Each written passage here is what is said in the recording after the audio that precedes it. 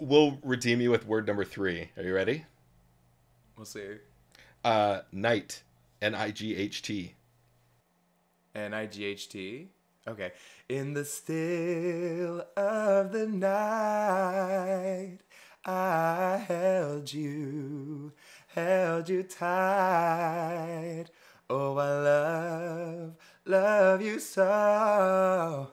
Promise I'll never let you go in the still of the night. Who is? Do you know that song? No, I, I don't.